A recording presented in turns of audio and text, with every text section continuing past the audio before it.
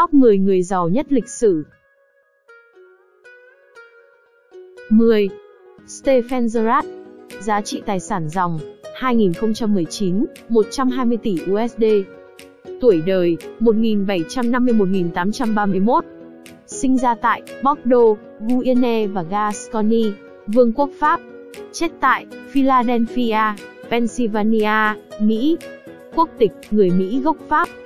Nguồn tài sản, Mechanchi Investments, người sáng lập ngân hàng Zerat. 9. John Astor Giá trị tài sản dòng 2019, 140 tỷ USD Tuổi đời, sinh 1763 mất 1848 Sinh ra tại Wardorf, dinh thự bầu cử Đế chế La Mã thần thánh tên là Johann Astor Chết tại thành phố New York, New York, Hoa Kỳ Quốc tịch, người Mỹ gốc Đức. Nguồn của cải, người sáng lập American Fur Company, ông trùm bất động sản. 8. William J. Warren Giá trị tài sản dòng 2019, 150 tỷ USD Tuổi đời, không rõ năm sinh mất 1088 Sinh ra tại Công quốc Normandy, Vương quốc Pháp không rõ nơi sinh chính xác. Sinh Chết tại Lewes, Sussex, Vương quốc Anh Quốc tịch Norman Nguồn của cải, bạn đồng hành của vua William I hay còn gọi là William the Conqueror, ông trùm địa chủ. 7. Alan Rufus Giá trị tài sản dòng 2019, 180 tỷ USD Tuổi đời 1040-1093 Sinh ra tại Công quốc Brittany, Vương quốc Pháp, không rõ nơi sinh chính xác Chết tại Vương quốc Anh không rõ nơi mất chính xác. Quốc tịch Breton. Nguồn của cải, bạn đồng hành của vua William I hay còn gọi là William the Conqueror, ông trùm địa chủ. 6.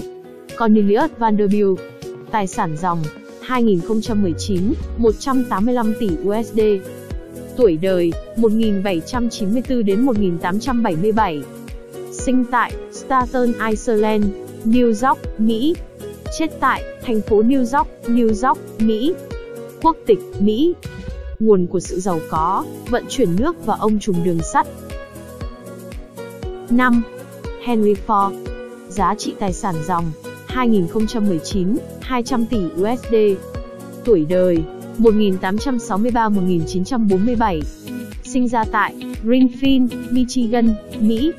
Chết tại Dearborn, Michigan, Mỹ Quốc tịch Mỹ Nguồn của cải, người sáng lập Ford Motor Company Henry Ford hoàn thành năm đầu tiên trong top 10 người giàu nhất trong lịch sử. Ford sinh ngày 30 tháng 7 năm 1863 tại Greenfield, Michigan, ngoại ô Detroit, Michigan, Hoa Kỳ. Anh sinh ra trong một gia đình nông dân nhập cư. Cha anh sinh ra ở Ireland, mẹ anh ở Bỉ. Ford coi thường công việc đồng áng và có tham vọng lớn hơn. Vốn có tài năng và niềm đam mê với công việc kỹ thuật, Ford lần đầu tiên trở thành một thợ máy và sau đó là một kỹ sư. Ford bắt đầu làm việc tại công ty Detroit Edison, một công ty điện được thành lập bởi nhà phát minh Thomas Edison. Tại đây, anh nhanh chóng được thăng chức kỹ sư trưởng. Ford đã sử dụng vị trí cao cấp của mình để thử nghiệm tầm nhìn của mình về động cơ xăng. Ông đã thành công vào năm 1896, phát minh ra một chiếc xe tự hành mà ông gọi là Ford Recycle. Mặc dù đây không phải là chiếc ô tô đầu tiên trong lịch sử, kỹ sư người Đức Cabens đã phát minh ra ô tô vào năm 1885. Ford hy vọng sẽ biến chiếc ô tô trở thành một sản phẩm đại chúng với mẫu xe của mình. Với sự giúp đỡ của nhiều nhà đầu tư có trụ sở tại Detroit, như Harold Wins và William Murphy, Ford đã có thể rời khỏi công ty Edison và bắt đầu kinh doanh của riêng mình vào năm 1901, công ty Henry Ford. Tuy nhiên, Ford đã không để mắt đến các nhà đầu tư của mình, những người đã gây áp lực buộc ông phải sản xuất những chiếc xe đắt tiền, cho một số ít thay vì những mẫu xe hợp túi tiền của nhiều người, như Ford đã luôn hình dung. Năm 1902, Ford rời công ty riêng của mình, sau đó được đổi tên thành công ty ô tô Cadillac, và thay vào đó thành lập một công ty mới vào năm 1903, Form Motor Company. Ý tưởng chế tạo những chiếc xe hơi mà công nhân của ông có thể mua được, đã được chứng minh là một ý tưởng vàng. Chiếc xe đầu tiên của Ford, Model T, được giới thiệu vào năm 1908. Đến năm 1927, chiếc xe đã bán được hơn 16 triệu lượt, khiến nó trở thành xe bán chạy thứ 9 trong lịch sử tính đến thời điểm hiện tại. Không ngạc nhiên khi tầm nhìn tiên phong của Ford đã giúp ông có được một khối tài sản lớn lên, tới khoảng 199 tỷ đô la theo tiêu chuẩn ngày nay.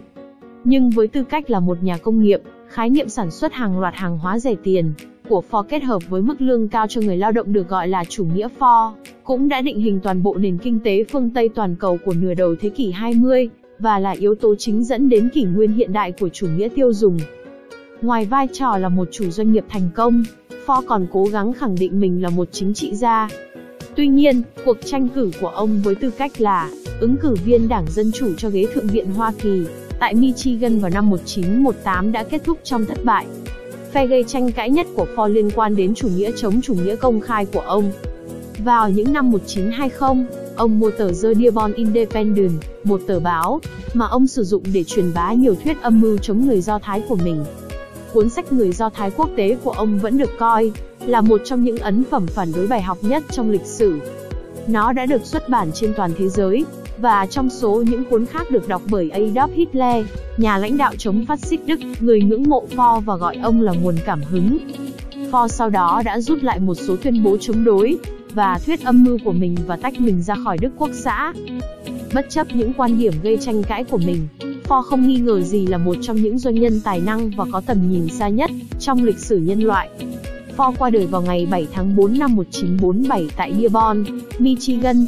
Ông 83 tuổi, bỏ lại vợ.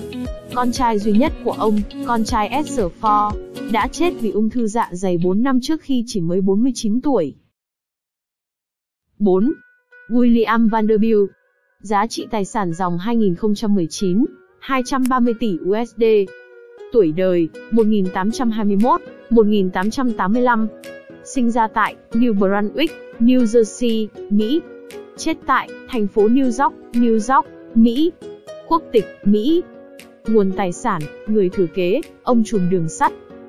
William Vanderbilt đứng thứ 4 trong top 10 người giàu nhất lịch sử. Vanderbilt sinh ngày 8 tháng 5 năm 1821 tại New Brunswick, New Jersey. Cha của người Mỹ là Cornelius Vanderbilt, một ông trùm vận tải đường thủy và đường sắt người Mỹ gốc Hà Lan, người đã đặt nền móng cho khối tài sản Vanderbilt. Là con trai cả, William thừa kế tài sản của cha mình sau khi người sau qua đời vào năm 1877. Ông tiếp quản đế chế đường sắt của cha mình và gần như tăng gấp đôi giá trị của nó trong 9 năm sau đó.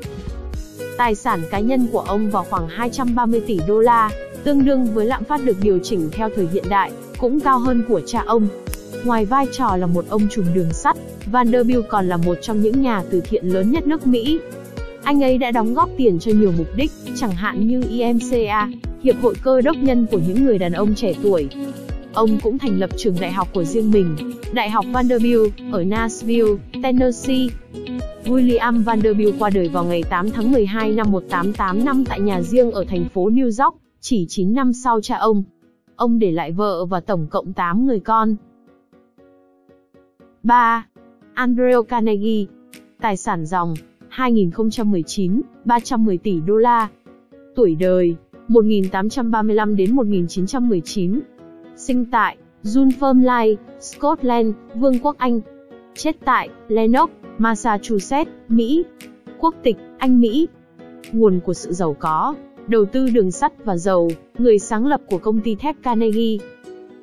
Sinh ngày 25 tháng 11 năm 1835 tại thị trấn nhỏ Dunfermline, Scotland, Andrew Carnegie là người không cai trị giàu thứ ba trong lịch sử nhân loại, và là người không thuộc Hoàng gia Anh giàu nhất mọi thời đại. Gia đình Carnegie xuất thân từ truyền thống thợ dệt lâu đời của Scotland. Sau khi tình hình kinh tế của Carnegie trở nên tồi tệ, gia đình quyết định nhập cư vào Hoa Kỳ vào năm 1848, nơi họ định cư tại Pittsburgh, Pennsylvania. Andrew Carnegie có công việc đầu tiên năm 14 tuổi khi trở thành một cậu bé, đưa tin điện báo làm việc cho một công ty điện báo ở Pittsburgh. Ở tuổi 18, anh được công ty đường sắt Pennsylvania thuê làm nhân viên điều hành điện báo. Với sự giúp đỡ của ông chủ của mình ở đó, Thomas Scott, anh đã trở nên quen thuộc với thế giới đầu tư. Carnegie lần đầu tiên tập trung độc quyền vào ngành đường sắt, một ngành công nghiệp lớn đầu tiên ở Hoa Kỳ. Dù đã giàu ở thời điểm đó, Andrew Carnegie đã vươn lên trở thành một trong những người giàu nhất lịch sử, sau khi ông nhận ra giá trị của một nguồn tài nguyên khác, thép. Carnegie nhận ra rằng nước Mỹ đang phát triển nhanh chóng sẽ cần rất nhiều thép cho nhiều tuyến đường sắt, cầu và các tòa nhà mà nước Mỹ dự định xây dựng. Năm 1892, ông thành lập công ty thép Carnegie, công ty nhanh chóng trở thành nhà sản xuất thép lớn nhất Hoa Kỳ và sau đó là trên thế giới.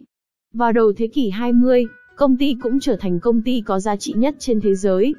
Tất cả những điều đó đã tạo ra khối tài sản tương đương thời hiện đại khoảng 310 tỷ đô la cho Carnegie.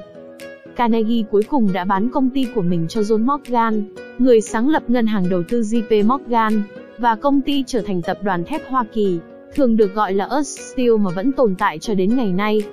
Carnegie đã dành 18 năm cuối đời của mình với tư cách là một nhà từ thiện nổi tiếng. Ông đã sử dụng tiền của mình để xây dựng khoảng 3.000 thư viện công cộng trên khắp Hoa Kỳ, Vương quốc Anh và Canada. Ông cũng đầu tư vào nghệ thuật, cùng với việc xây dựng Carnegie Hall ở thành phố New York, một trong những phòng hòa nhạc uy tín nhất trên thế giới. Ông cũng đầu tư rất nhiều vào hệ thống giáo dục của Mỹ, đồng thời thành lập Học viện Công nghệ Carnegie ở Pittsburgh, nay được gọi là Đại học Carnegie Mellon. Carnegie cũng tham gia vào nhiều nguyên nhân xã hội. Ông là người phản đối mạnh mẽ sự phân biệt chủng tộc và chủ nghĩa đế quốc Mỹ ngày càng gia tăng vào đầu thế kỷ 20. Tương tự như vậy, Carnegie chỉ trích gia đình hoàng gia của quốc gia sinh ra ở Anh và ca ngợi chủ nghĩa Cộng hòa của Mỹ. Andrew Carnegie bị viêm phổi phế quản và qua đời vào ngày 11 tháng 8 năm 1919 tại Lenox, Massachusetts, nơi ông đã chuyển đến 2 năm trước đó. Ông đã 83 tuổi. Ông bỏ lại vợ kết hôn năm 1887 và đứa con duy nhất, một cô con gái sinh năm 1897. 2. John Rockefeller. Giá trị tài sản dòng 2019 350 tỷ USD Tuổi đời 1839-1937 Sinh ra tại Rickford, New York, Mỹ. Chết tại Ormond Beach, Florida, Mỹ. Quốc tịch Mỹ. Nguồn tài sản Ông trùm dầu mỏ. Người sáng lập Standard Oil John Rockefeller là thường dân giàu thứ hai trong lịch sử. Ông cũng là người Mỹ giàu nhất từng sống. Rockefeller sinh ngày 8 tháng 7 năm 1839 tại thị trấn nhỏ Rickford, ngoại ô New York. Cha của anh, William Rockefeller, là một nhân viên bán hàng lưu động có phần mờ ám, người đã bán thứ mà anh ta tự nhận là thuốc mê, cho những người cả tin, tự lấy cho mình biệt danh là Devin Bean. Rockefeller lần đầu tiên bắt đầu làm công việc kế toán ở tuổi 16. Khi mới 20 tuổi, Rockefeller sau đó bắt đầu kinh doanh riêng trong ngành hoa hồng sản xuất cùng với anh trai và một đối tác kinh doanh. Nhưng ngay sau đó, vào những năm 1860, Rockefeller đã quan tâm đến một lĩnh vực mới, dầu mỏ, thứ mà ông công nhận là nguồn tài nguyên quý giá nhất trong tương lai.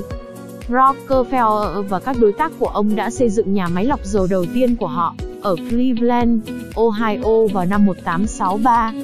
Năm 1870, Rockefeller cắt đứt quan hệ đối tác và tiếp tục thành lập công ty Standard Oil của riêng mình. Ông bí mật cắt hợp đồng với các nhà cung cấp đường sắt, những người đã tăng mạnh phí vận chuyển, mà các nhà sản xuất dầu phải trả cho việc phân phối sản phẩm của họ. Do đó, công ty dầu mỏ đã có thể nhanh chóng mua lại các nhà máy lọc dầu cạnh tranh. Rockefeller Standard Oil đã trở thành nhà sản xuất dầu lớn nhất trên toàn thế giới. Vào đầu thế kỷ 20, Rockefeller sở hữu khoảng 90% toàn bộ sản lượng dầu của Hoa Kỳ, chiếm 85% sản lượng dầu của thế giới vào thời điểm đó. Rõ ràng, điều này đã khiến Rockefeller trở thành người giàu nhất thế giới, với khối tài sản ước tính khoảng 350 tỷ USD ngày nay. Năm 1911, Tòa án tối cao Hoa Kỳ coi Standard Oil là công ty độc quyền bất hợp pháp và yêu cầu công ty tách thành 34 công ty độc lập. Nhiều công ty trong số đó, chẳng hạn như ExxonMobil, Chevron hay ConocoPhillips, vẫn thuộc về những nhà sản xuất dầu lớn nhất ở Mỹ. Việc buộc phải chia tay không khiến Rockefeller nghèo đi chút nào. Ông được phép giữ cổ phần đáng kể trong mỗi công ty, mà giá trị trung bình tăng gấp 5 lần. Rockefeller đã dành những năm cuối đời ở Florida. Ông mất ngày 23 tháng 5 năm 1937 tại Ormond Beach, Florida ở tuổi 97. Ông đã kết hôn một lần và có 5 người con. 1. Jacob Fugger Tài sản dòng 2019, 400 tỷ đô la. Tuổi đời, 1459 đến 1525. Sinh tại Augsburg, Holy Roman Empire. Chết tại Augsburg, Holy Roman Empire. Quốc tịch, Đức. Nguồn của sự giàu có, khai thác, me chan chi và ngân hàng. Trong số tất cả những người không phải vua và không phải hoàng đế, Jacob Fugger là người giàu nhất từng sống. Ông sở hữu tổng tài sản khoảng 2,1 triệu guilders, tương ứng với khoảng 400 tỷ đô la ngày nay. Thương gia người Đức sinh ngày 6 tháng 3 năm 1459 tại thành phố đế quốc tự do Augsburg, khi đó là một phần của đế chế La Mã Thần Thánh, nước Đức ngày nay. Cha của Fugger cùng tên đã là một thương gia thành đạt, và là người sáng lập ra triều đại Fugger. Nhưng chính Jacob Fugger mới thực sự khiến tên tuổi của Fugger được cả châu Âu biết đến. Phần chính sự giàu có của Fugger đến từ việc khai thác và buôn bán huy chương, đặc biệt là đồng. Bắt đầu từ thế kỷ 15, đồng ngày càng có giá trị vì nó được sử dụng để sản xuất các loại kho vũ khí, cũng như các thiết bị nhà bếp. Fugger đã nhận ra xu hướng này và tham gia rất nhiều vào lĩnh vực kinh doanh khai thác. Ông cho nhiều chủ mỏ khác nhau trong khu vực vay tiền và đổi lại, ông yêu cầu quyền mua kim loại của họ trước tiên. Bước đi này cho phép Fugger kiểm soát gần như toàn bộ hoạt động buôn bán kim loại trong khu vực từ Augsburg đến tận Rome. Khi nói đến đồng, Fugger thậm chí còn tạo ra một thế độc quyền vượt ra ngoài biên giới của đế chế La Mã thần thánh, vươn xa tới tận Gdansk ở Vương quốc Ba Lan. Bên cạnh sự thống trị trong lĩnh vực khai thác và kinh doanh kim loại, Fugger còn trở thành một chủ ngân hàng. Fugger đã tài trợ cho nhiều thành viên của gia đình Habsburg, đáng chú ý nhất là Maximilian I. Người, với sự giúp đỡ của Fugger, đã trở thành hoàng đế La Mã thần thánh vào năm 1508. Ngay cả Vatican cũng mắc nợ gia cấp Fugger. Trên thực tế, nhiều nhà quý tộc, công tước và vua chúa trên khắp châu Âu đã mắc nợ Fugger vào đầu thế kỷ 16. Bất chấp sự giàu có đáng kinh ngạc của mình, Fugger khá nổi tiếng trong giới bình dân, trước hết là những người dân quê hương ông ở Augsburg. Năm 1516, Fugger xây dựng khu phức hợp nhà ở xã hội đầu tiên trên thế giới tại Augsburg. Những ngôi nhà này dành cho những công dân công giáo nghèo của Augsburg, những người được phép sống ở đó với giá thuê cực kỳ thấp, một người mỗi năm. Khu phức hợp nhà ở xã hội, được gọi là Fuggeray, vẫn còn tồn tại và hoạt động với các quy định và giá thuê, như do chính Fugger đặt ra cách đây hơn 500 năm. Fugger mất ngày 30 tháng 12 năm 1525 tại quê nhà. Ông đã 66 tuổi. Vì vẫn không có con, nên tất cả tài sản của ông đều được để lại cho cháu trai lớn nhất Anton Fugger, người đã tiếp tục di sản của chú mình cùng với các anh chị em của mình, thậm chí còn mở rộng công việc kinh doanh của gia đình sang thế giới mới ở châu Mỹ.